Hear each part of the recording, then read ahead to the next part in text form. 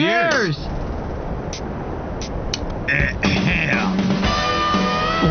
boys, this is no time to celebrate. We kicked ass here today, but there's still other planets to capture. No